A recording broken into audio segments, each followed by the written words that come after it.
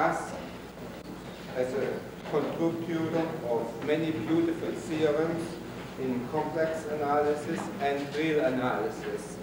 And he will speak today a new look at some old ground, a theorem.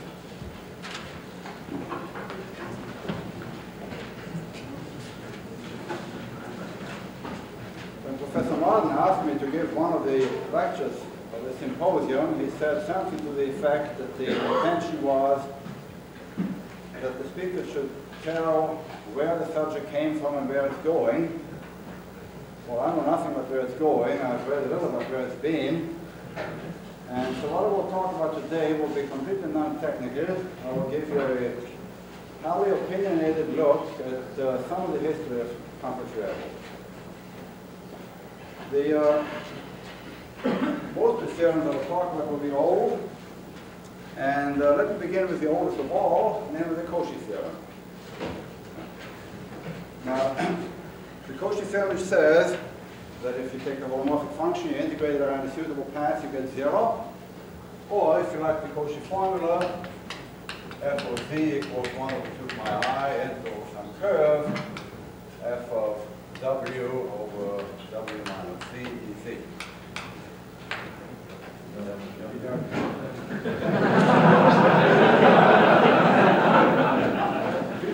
know that pays attention now the, uh, there's a local version of this, which everybody knows. Suppose uh, this f here is holomorphic in some, say, a nice convex region. And then, of course, this formula here isn't true. As written, you have to specify a little more about the curve. The original formula, which was was stated by Cauchy, I suppose, in way back around 1825, was this gamma should be a simple closed curve, and z is inside. And then later on, when uh, this formula was generalized to uh, logically connected regions, for instance, to uh, paths which were not necessarily simply connected to paths which in, in, even didn't have to consist of a single curve. And uh, the uh, statement, the most general statement that I want to consider is the so-called homology version of the Cauchy theorem, which says this. Suppose we have a region, and incidentally, the region doesn't even have to be connected, just an open set in the plane. And in it, we have a holomorphic function. And also in it, we have uh, some curves, which ought to be closed curves, oriented. And we look at this integral here. And we define the uh, index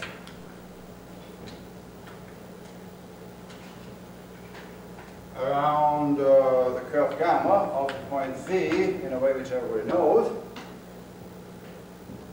then the, uh, the this formula here will be valid under the hypothesis that uh, the uh, every point of the complement of the region should have index zero relative to the curve. Now, the, uh, the usual proof of this general version is rather messy. The original proofs were given by uh, first proving this thing here for simply connected regions, then looked at the general case of making a lot of cross cuts, reducing it to a simply connected case, which is a messy topological procedure. Some uh, more modern treatments uh, use uh, the machinery of differential forms, like in Ahlfors' book, or the uh, another piece of machinery that we can use is uh, Runge theorem. This was originated by Saks and Zygmund, I think, this way of getting at the Cauchy theorem. You simply prove the theorem first for rational functions and approximate uh, and get it for holomorphic functions in general. Now the uh, very recently by uh, John D. Dixon in the proceedings in August 1971. This symposium is about analysis in the 70s. And he uh, gives a very brief and I think very elegant proof of the general uh, formulation of the Cauchy theorem, assuming the uh, local structure, assuming the, the Cauchy theorem in the disk, say, and assuming the uh, local information of holomorphic functions that one gets from that. Now, what he does is the following. He writes down the following function. Defines in two pieces. One is the integral over gamma of uh, the f of w minus uh, f of z divided by w minus z dw. This is for z in the region omega. Maybe it's this here. And he defines it to be the integral of the term contour gamma of just f of w over w minus z dw. This for all points z whose index with respect to gamma is zero.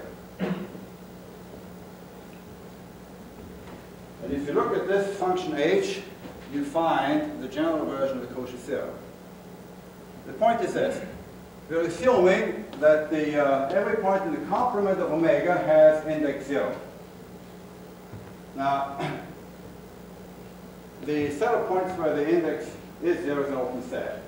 But the two open sets which uh, occur here overlap, of course. But in the overlap, the uh, index is 0, which means that the integral of f of z over w minus z is 0.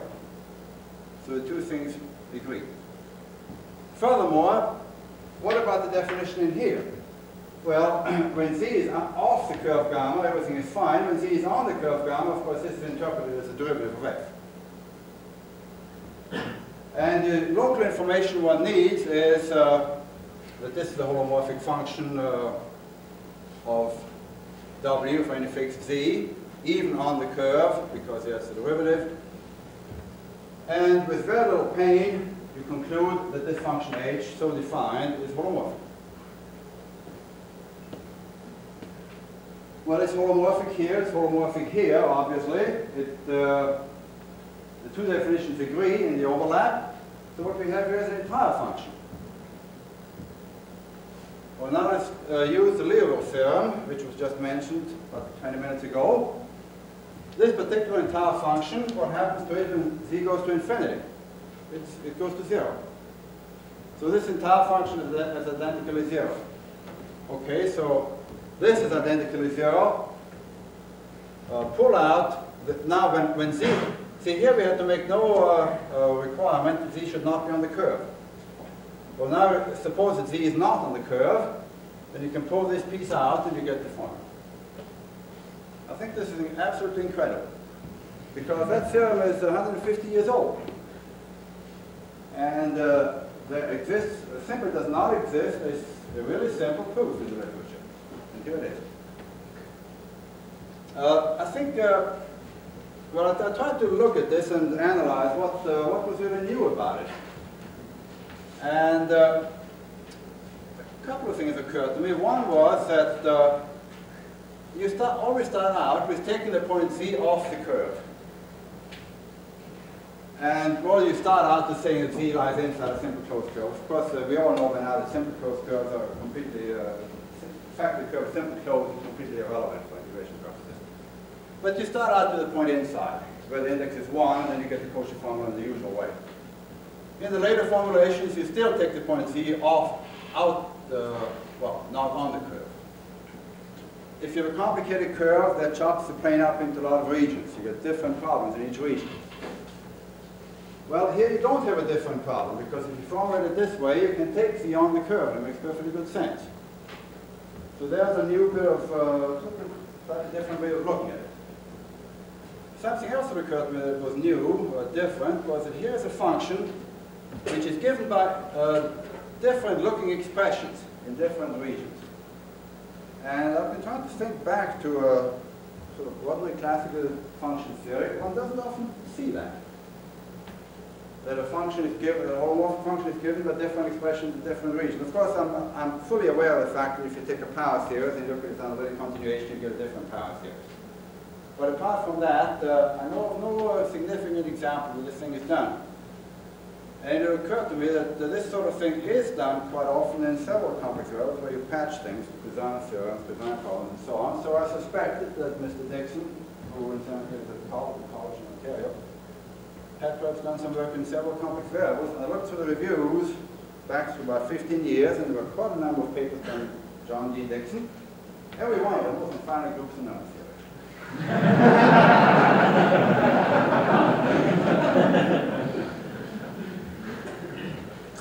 Well, so much about the. Uh, uh, the next oldest theorem probably is. Uh, where shall I go? Over here. The next oldest theorem is undoubtedly the Riemann mapping theorem. It is also the only one, I believe, uh, which is going to be mentioned in all three of these lectures. It was proved in 1851. Strictly speaking, it wasn't completely proved, but that's not the point. The, uh, the most amazing thing about the theorem is that it was ever conjectured. Uh, and uh, here is where my uh, idiosyncrasies, my contentions begin to come in. I claim it was conjectured at about the right time. Uh, I claim that if uh, the Riemann mapping theorem had not been conjectured until, say, about 1920, or maybe even 1900, uh, that uh, people would have jumped on the poor man and said, yeah, this is nonsense, can't, can't, be, uh, can't be true. Uh, Riemann had a notion of a simply connected region bounded by a nice curve. There were physical considerations which led to the idea that the theorem was reasonable. If someone had drawn him a, something like this and had said, well, now let's take a Cantor set of arcs in here, and and then somebody had come in and give, shown him Brouwer's example of a domain whose boundary was also the boundary of three other domains. and in the, in the early uh, 20th century, there was all this pathology going on. The people built uh, canals, uh, family canals came all over. Now, I don't know what Riemann psychology was, but I him, if someone had told him, now look, you can't possibly map this in an angle preserving manner onto a disk. Uh, well, he might have said, well, okay, we'll just have to work harder. Or he might have said, well, maybe you're right, and we have to put some conditions on the boundary. And uh, his proof, as we all know, did contain a gap. He set it up as a variational problem, and uh, he assumed the existence of the uh, maximum minimum, I guess it was a maximum problem. No, he minimized the Dirichlet integral. And the Weierstrass pointed out that all such problems don't always have solutions and so forth, and Hilbert straightened it out. And later on, of course, uh, the proof was invented, which uh, we still teach. I think it's the only textbook proof that exists. It's the one that uses normal families, and it's pure black magic. I mean, it doesn't uh, give you any idea what the, where the function comes from. From, from the geometrical standpoint, it's, it gives you no information whatsoever. It's a beautiful proof. It's perfectly clear, perfectly clean, no doubt about it. But it sort of bypasses the geometric picture completely. And uh, my contention is that if uh, no one had happened to conjecture this theorem until 1920, or someone like Marcinkiewicz or so nonsense. Can't happen. Now, I claim also that no one can prove that I'm wrong on this. and furthermore, I'm going to give some further evidence. And uh, the evidence concerns another problem, another theorem, which I think was not conjectured at the right time, which was uh, what I'm talking about is polynomial approximation. The, uh, let me sketch a, an uh, outline here. In about 1885, Weierstrass proved the theorem everybody knows. If you have a continuous function on the unit interval, it can be uniformly approximated by polynomials. That's the granddaddy of all approximation theorems. Except that it shares the honors with Runge, who wrote his paper in the same year. I still think that Weierstrass uh, uh, was earlier. Weierstrass has a, had a reputation of publishing things very late, or not publishing them at all. And certainly the Weierstrass theorem is a, is a more elementary theorem in some sense or another. But Runge proved the theorem that uh, if you have a region in the plane, a holomorphic function in it, and any compact subset of that plane, except it didn't call it, or that region, didn't call it compact, it doesn't matter, then uh, the given holomorphic function can be approximated uniformly on the compact set by rational functions whose poles are outside the region. And incidentally, this is a remarkable paper. It, it reads just like modern mathematics. It's very clear, very clean. Just it gives the construction, and that's it. Well, there are these two things. Here we have polynomials. Let, let's think about the uh, simply connected region now. In that case, as we pointed out, the approximation can be done by polynomials.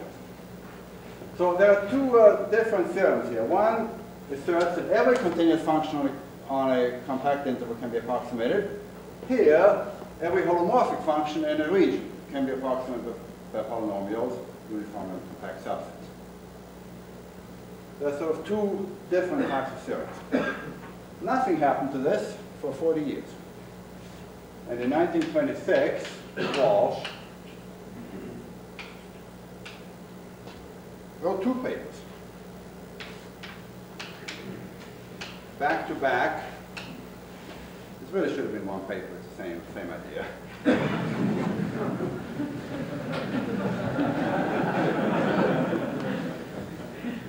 Where he uh, does uh, the Weierstrass theorem on Jordan curves in the plane. And here he, uh, the setup here is this. Let K always be a compact subset in the complex plane now, so that uh, the difference is connected. Every K from now on has these properties. The compact set does not disconnect the plane. Walsh proved it for K equal to the closure of a Jordan domain. Uh, what it, let me say explicitly what he proved. He proved that if you have a continuous function on the closure, on the closure of such a region, which is holomorphic inside, then you can approximate uniformly on that closure, on K, by polynomials.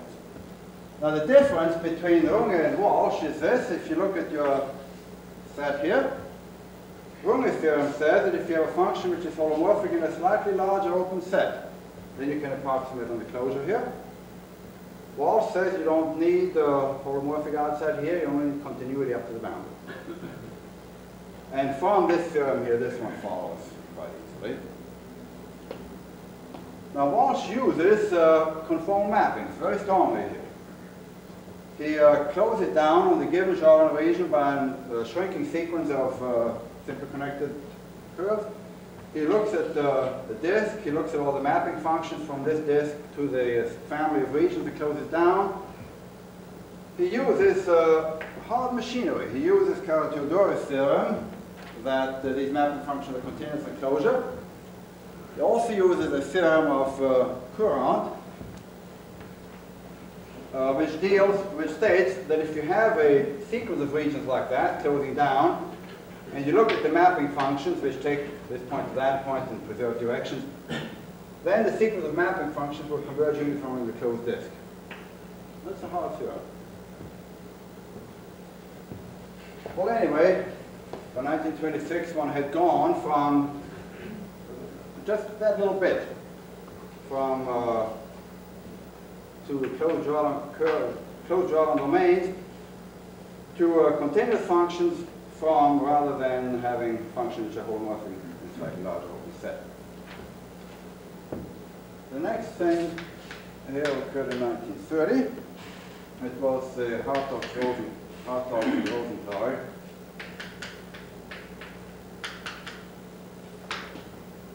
they look at compact sets K whose two-dimensional measure is zero, compact sets in the plane, and they prove the quadrature theorem. That every continuous function such a set can be, every continuous function, no holomorphic of course, every continuous function on K can be uniformly approximated by polynomials. Then over to uh, this side again. There is a theorem by Farrell. I won't write down exactly what the conditions are. It again concerns sets K, which are closures of regions. But the boundary does not necessarily have to be on curves. There are conditions on the boundary, complicated topological conditions. And again, the same conclusion. In uh, 1934, interesting how this thing runs back and forth, uh,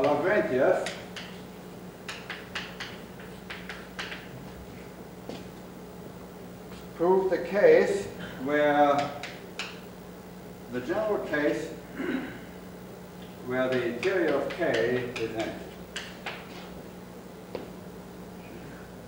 And of course still, uh, K does not separate the plane. So we have the, uh, note that these two things here, these two things, neither one contains the other. They're arcs of positive measures. These are, these are, these are different uh, hypotheses here. Uh, this is a, uh, definitive theorem, in a sense, because the, if you want to be able to approximate all continuous functions on K by polynomials, well, K can't have an interior, because functions which are, every function which you can approximate uniformly would have to be holomorphic in the interior. So as far as sets without interior are concerned, which of course all of these are, if you regard themselves as a plane, this ends the story. But it's not yet the end of the story anyway. In uh, 1940, uh, Keldysh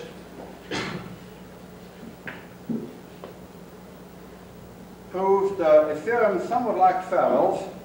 Here, the, the, again, it concerns the set K, which is the closure of a domain.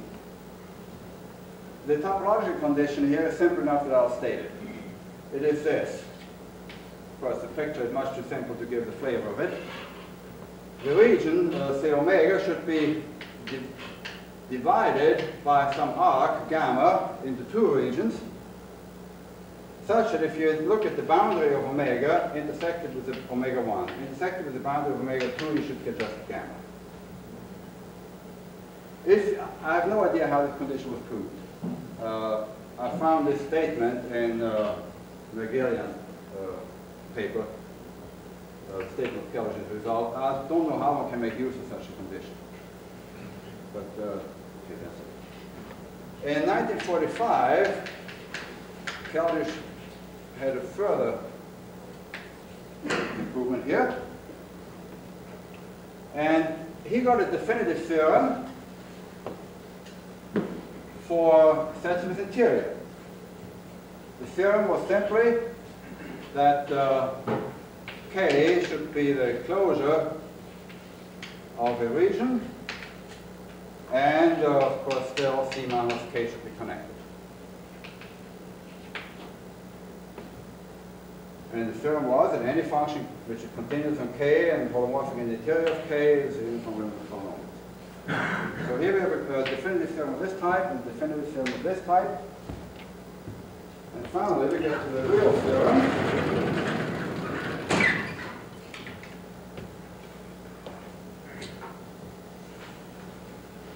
which is Mergelian theorem, which sort of, uh, I wish my board was bigger, Mergelian should straddle down here.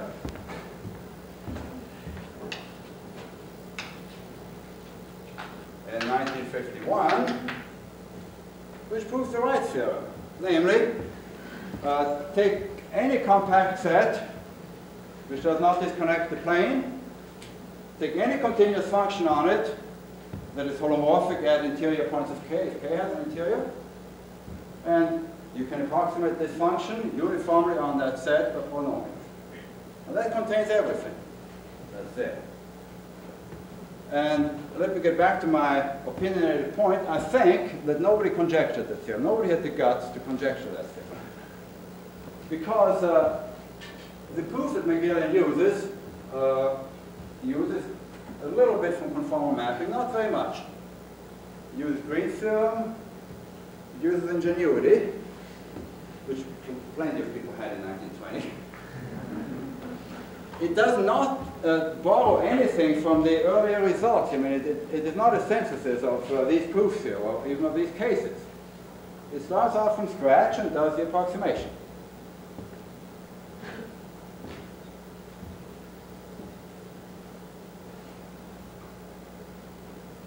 I think in uh, uh, Walsh's proof, for instance, uh, this was the best known theorem, best known earlier theorem. Uh, very useful special case, of course. I think if one goes back, and Walsh's paper is short, it's a couple of pages, but he uses uh, Courant's uh, theorem sequence of conformal mass. And he uses the Carathéodory theorem. I think if one uh, considers the whole background that is needed for Walsh's proof and the whole background that is needed for this one, I think this one is Uh, Mergelian's proof is very constructive. This is quite in the spirit of uh, the Russian school of uh, approximation theorists. There has been a functional analysis proof since then using ideas of Wermer, Glicksberg, and Harbison gave the real final version, I suppose. But still, I mean, uh, these use fancy machinery. They use uh, Dirichlet algebra kind of machinery. But the, this proof here is not very difficult and it could have been given 50 years ago. Well, polynomial approximation leads to functional analysis. I had to talk about functional analysis because it was announced that I would. And uh,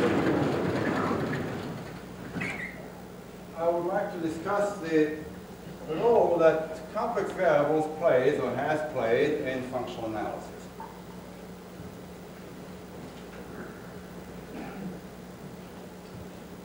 Functional analysis uh, is uh, topologically vector spaces, if you like. Uh,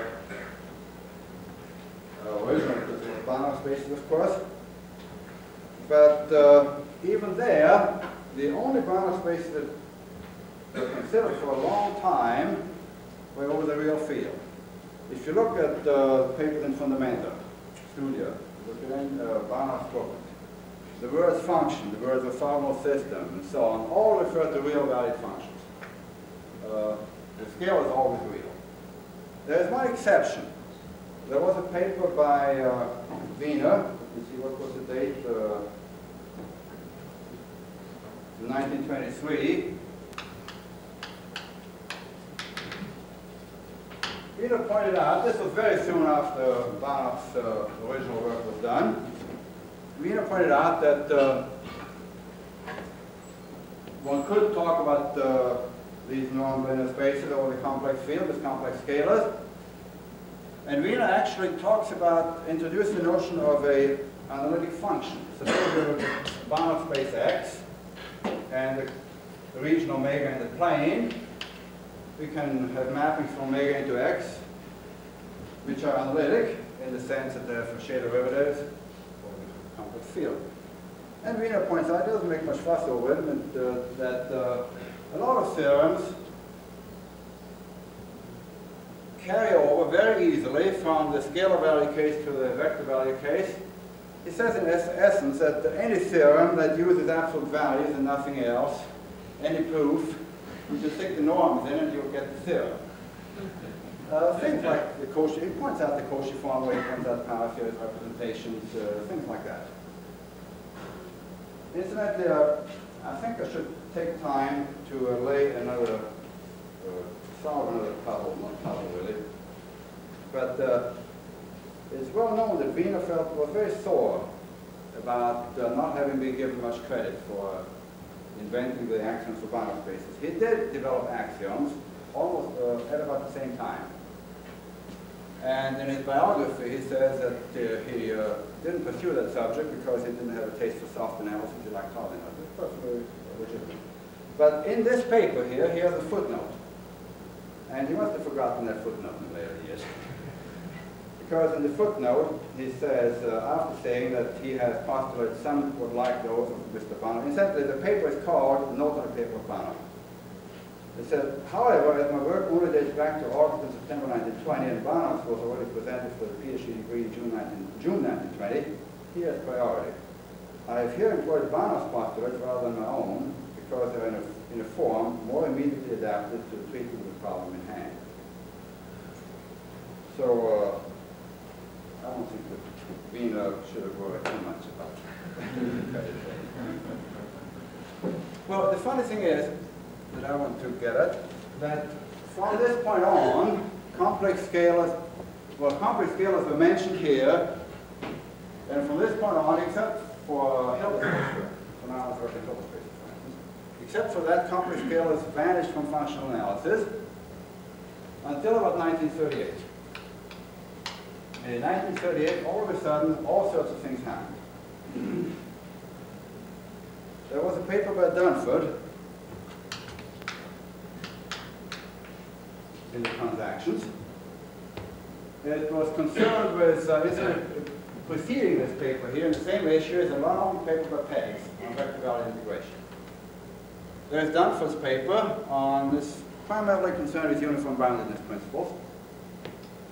And he has one theorem there, it's a 50-page paper. The last paper, the last term of the paper concerns holomorphic functions, vector-valued holomorphic functions. And he proves that uh, weakly holomorphic implies strongly holomorphic, which is a non-trivial fact uh, by any standards. Weakly holomorphic means this, we have a mapping F from omega into X. If you uh, look at f of v and hit it with some functional x star of x, this should be holomorphic function of v in the ordinary complex sense. It's only holomorphic means if the Fréchet differential should be okay.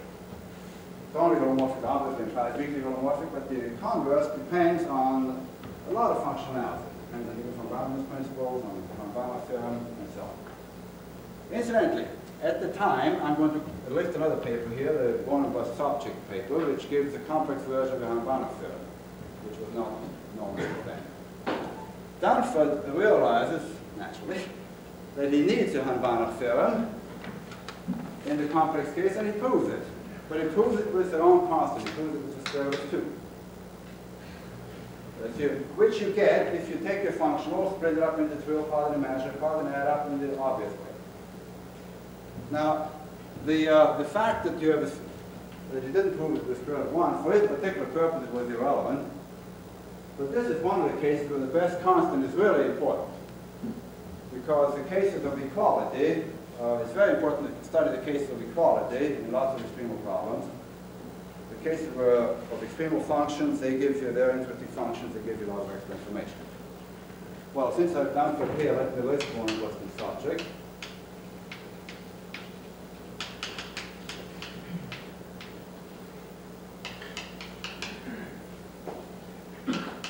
We all know how the complex proof, how the complex Banach uh, Hahn-Banach theorem is proved in the real cases by a very simple trick which takes one line.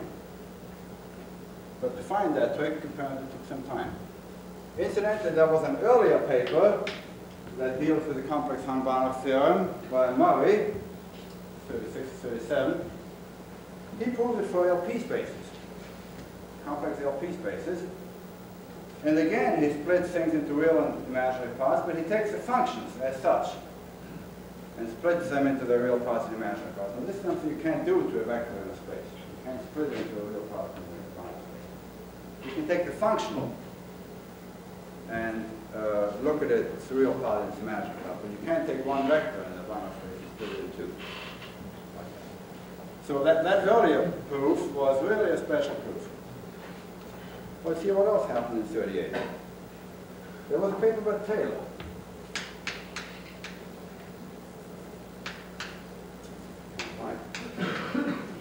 This is Taylor, who had written this thesis, uh, about the year before, I guess, 36, where he takes up uh, Wiener's ideas and uh, pushes them further.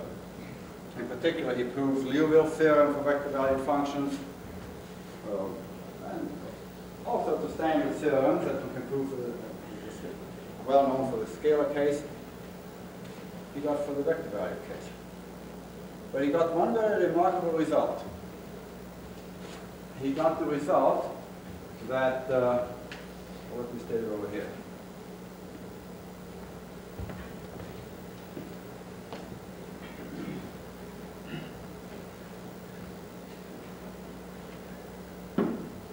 He proved the following. Suppose X is a Banach space, complex Banach space, and T is a bounded linear transformation on X. He proved that then the spectrum of T is not empty. And he proved it in the way uh, which one proves the theorem Banach algebra nowadays. He took the resolvent, T minus lambda I inverse, for lambda in the resolvent set, which is an open set. He had plenty of machinery to prove that this was a holomorphic function. If the resolvent set is empty, this is an entire function, whose values incidentally are in here now, in this Banach space of operators. And uh, obvious also that as lambda goes to infinity, the norm of this thing goes to zero. And the vector value version of Liouville's theorem gives you the contradiction you need. Well, this is identical to zero, but if it's zero, it can't be inverted.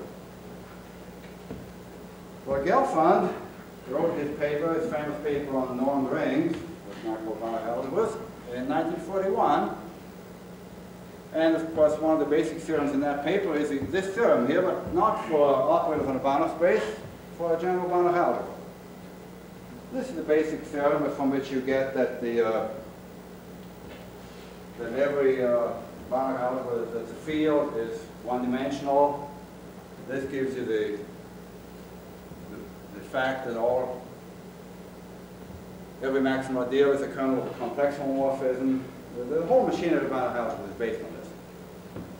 Now the point I want to make, and I've never seen this uh, credited to Taylor anywhere else, or anywhere, anywhere else, is this, that this special case, namely to prove the non-emptiness of the spectrum here for operators on a Banach space is the general case. There's nothing special about it. Because if you take any Banach algebra, each element acts on the algebra as an operator by the right left multiplication, whichever way you want to have it act. and its spectrum, in the Banach algebra sense, is exactly the same as its spectrum as an operator on the algebra. If you had an, an, uh, an element in the Banach algebra with empty spectrum, its spectrum as an operator, as a left multiplication operator, would be empty, and it can't happen. So, well, I don't know what I'm trying to prove here. Uh, I'm trying to point out that uh, this theorem, this basic theorem in Banach algebras, which I believe was, has always been credited to Gelfand. Um, I must confess, I looked through papers and it, uh, usually there's no, no particular credit given. It's just one of the that we know. Uh, but it was proved by Taylor in this, uh, in the book in 1938.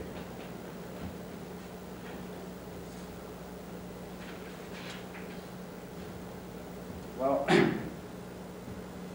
let me get back to uh, the problem of, uh, the psychological problem of finding theorems. There are a lot of cases, of course, where theorems are discovered simultaneously by several people, independently and simultaneously. And uh, sometimes it isn't clear at all where the idea came from, why, it, uh, why people think about a certain theorem at a certain time. Uh, I know one case uh, of this from my own experience. It's the uh, interpolation theorem, which Carleson improved at about the same time. Uh, you take any set here, compact set K of measure zero, you prescribe any continuous function on it, and you can find the continuous function of this, which is holomorphic inside, which extends a given one. Uh, both of us did this, I believe 1956 was the year. Uh, my proof uh, could have been given by Fatou in his thesis in about 1904. It used no machinery that he didn't have. Carleson used a bit of functional analysis. And uh, since this is sort of informal talk, I might as well brag a bit and say that I got a result that was a little better than Carleson, than Epsilon. And one doesn't, one doesn't often beat Carleson at anything. So, uh, Carleson proved that uh, if you can get the, you prescribe a continuous function here, say f is less than 1 on k, and epsilon is anything positive, then you can get an extension with the, required properties, which is nowhere bigger than 1 plus epsilon. Well, I got the same result with 0 which uh, there may be a moral to this, that uh, hard analysis may give better results than soft analysis. The other say Carleson used functional analysis and something just slipped away. But the point is that uh, I don't remember why I ever thought of this problem at that time. Well, I guess I was thinking of uh, interpolation in general, so I was thinking about function algebras or some such thing. And somehow it must have been in the air, and uh, it occurred to me, well, what about this problem? It was obvious that uh, the measure had to be positive, so the first question is, what happened measure zero? And it was. The, uh, the proof I had, uh, I knew at the time perfectly well that there was a very close relation between this interpolation theorem and the F&M theorem, uh, simply because, uh, well, the proof started out the same way started out the same way as the, the original proof of the F&M theorem, but then it, things went a little differently, and one gives one and one gives the other. But I could not make the connection. I could not have established any causal relation between the two. And that's what Bishop did uh, a couple of years later. He uh, showed that, uh, without going into details, that any time you have an F&M theorem, you also have an interpolation theorem. In fact, he did really show peak interpolation.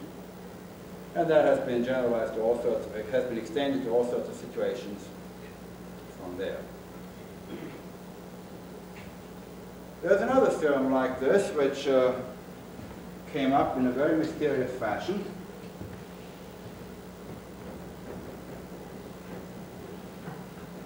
Much more recently, I think it was 1968. Uh, Gleason wrote a paper, and uh, Kahane and Żelazko wrote a paper.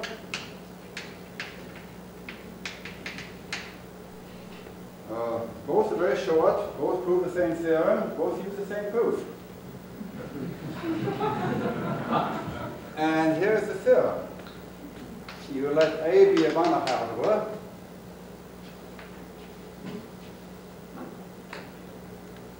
and uh, we can phrase it either in terms of subspaces or in terms of linear functionals. Let me phrase it in terms of linear functionals.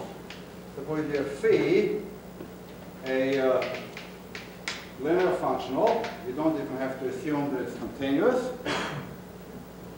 And you assume that the null space of phi, well, that you assume that phi of x is different from zero if uh, x inverse exists. In other words, the uh, null space should contain no invertible element. Am I thing this right? If it's invertible, then it's not null. Well, the conclusion of the theorem is that then phi is, is multiplicative. The phi is a homomorphic. These, these are obviously necessary conditions. Uh, we can also state it in terms of uh, subspaces of codimension 1. You can, that a closed subspace of codimension 1, which contains no invertible element, is a maximal ideal. This is a characterization of maximal ideals. In fact, that's how I think it's the title of one of these. Uh, both of them use uh, classically complex variables they use uh, the theorem of Hadamard if you have an entire function of, uh, well, I guess if it's only used for order 1. Hadamard theorem I'm referring to is that uh, if you're in power function of finite order, then it's a canonical product times e e to a polynomial. Or they use the case of order 1, and the case, actually it's a special case for the theorem, so they don't use the full force of Hadamard's theorem, but they both quote that theorem in the, in the proof. Now, I know all three of these uh, mathematicians and ask them where they come from. Why do you, why do you think of such a theorem? What is it good for? Nobody told me. Nobody knows. that was nice theorem. They happened to find it. Well, I think I shouldn't take too much time because there's all this beer waiting to be drunk. I would just like to mention uh, another area in which uh, complex variables have played a great uh, role. That is the area of partial differential equations. And here, like in so many other uh, uh cases where two fields of mathematics impinge on each other,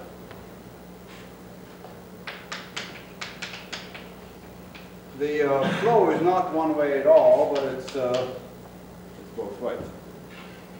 In other words, each of the fields uh, is very fruitful for the other. For example, the, uh, let's talk about this arrow here, partial differential equations being good for function theory. This is especially true of functions of several complex variables, of course. The, uh, anyone who has looked at the book of Hörmander or knows the work of Andreotti, Kohn, I've dropped so many names now, I'm running out of names, my memory is fading. Note that uh, this equation here is the basic equation of the whole theory. And the more you know about solutions of this sort of equation, the more you know about holomorphic functions of several variables. Uh, questions of solidness with certain boundary conditions, with certain growth conditions, uh, with other data. All of these partial differential equations questions have direct bearing on function theory. As an example of the other direction, there is the, uh, the theorem in several variables. I guess it should be called Paley-Wiener-Schwartz by now. Schwartz, I'm talking about the distribution version, which is due to Schwartz. Uh, this was of basic importance in establishing the existence of fundamental solutions. This is the work of Malgrange and Ehrenpreis.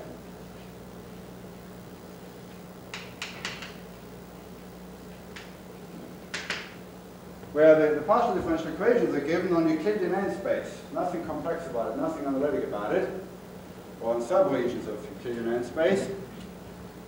They're linear equations, perfectly classical objects. And once you establish the existence of fundamental solutions, it turns out that uh, to do this, one has to go, one has to embed the real Euclidean space in the complex space. The Fourier transform gets into the picture, of course and uh, the Paley-Wiener-Schwartz theorem, which uh, relates Fourier transforms of objects with compact support to growth conditions of the entire functions that you get as a Fourier transform.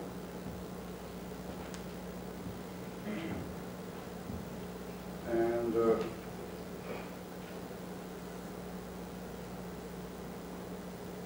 I think I will